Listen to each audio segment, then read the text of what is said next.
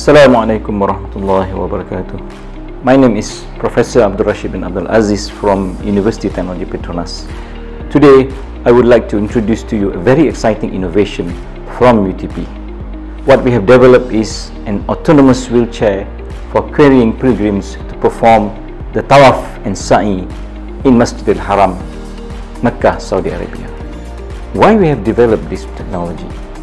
Imagine yourself pushing a wheelchair of your loved one or your parents during Tawaf and Sa'i.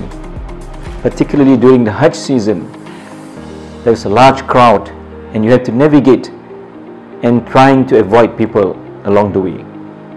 Imagine not having to do that and having a wheelchair that is able to navigate itself and allowing your loved one to sit comfortably uh, without worrying and doing his or her tawaf and umrah. This is what we are offering with our technology the ability to navigate and perform the tawaf and perform the sa'i autonomously without any human control or interaction. So, what is the target market for this product? Of course, originally when we envisioned this product, our intention was to assist those doing the uh, Hajj and Umrah, doing the performing the Tawaf and Sa'i. Um, but later we realized that this technology can also be applied to cases, for example, in shopping malls, uh, in airports, as well as in uh, tourist uh, sites, uh, where tourist attraction site, where you have uh, places where people have to walk and see um, all these historical places.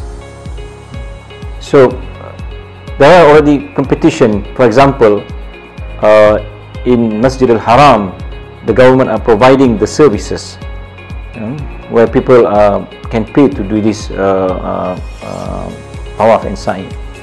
Uh, you can pay basically people to push you on a on a uh, wheelchair.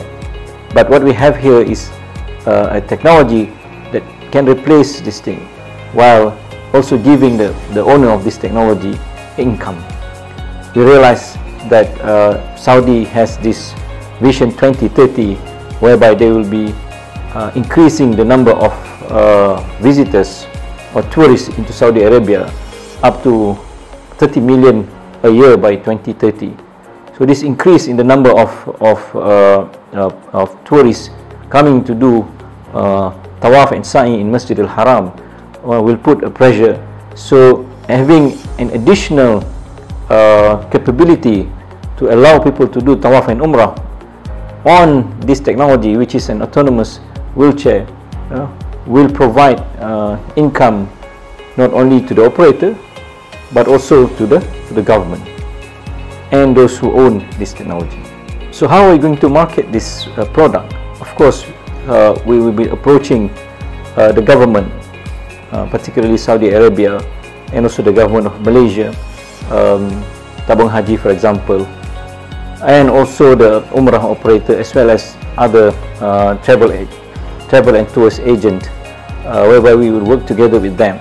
So either this product can be leased or it can be purchased individually and the owner can carry this uh, into the uh, aircraft and transport it all the way uh, to Saudi Arabia and also coming back without any issue and particularly we will also work with those performing the Hajj and Umrah performing the Tawaf and Sa'i themselves uh, in order to investigate further and to refine the product that we have. So what is the return on investment on this technology?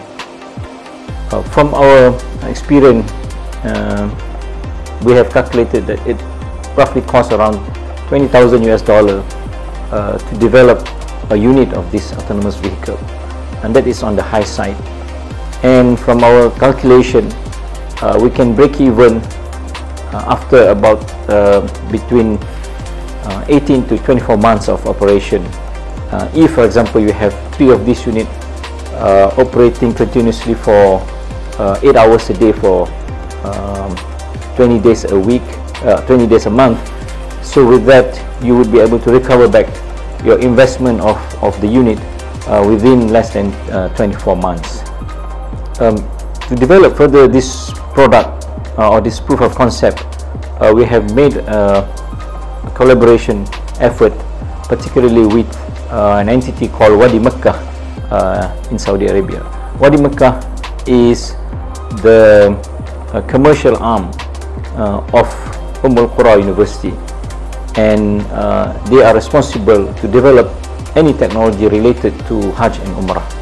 And uh, we have uh, signed an agreement with them um, and also we have demonstrated the product uh, to the CEO of Wadi Makkah themselves. And they're very interested in this uh, product.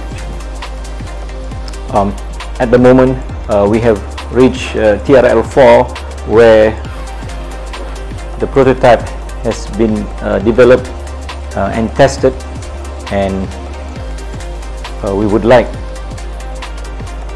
to have that ability to demonstrate this uh, in Masjid al-Haram itself uh, to show its effectiveness. Thank you.